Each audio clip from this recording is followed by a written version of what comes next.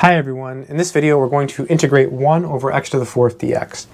So when you're integrating, you have a tool that you can always use, and that's called the power rule. So here we want to rewrite this so that we can use the power rule. So to do that, we'll bring this upstairs. So we'll write this as x to the negative 4. When you bring this up, the exponent becomes negative, and then we have our dx here. Okay, now we can use the power rule. The power rule says that we add 1 to this number, so we drop the integral sign, we drop the dx, so we get x to the negative 3, and then you divide by the result. So you add 1 to the number and then divide by it. Then don't forget the plus c.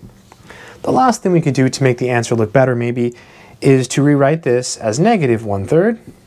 That's a negative, there we go. And x to the negative 3 plus c. And that would be a perfectly acceptable final answer. Um, some people like to bring the x downstairs. It's not really necessary. I hope this video has been helpful. Take care.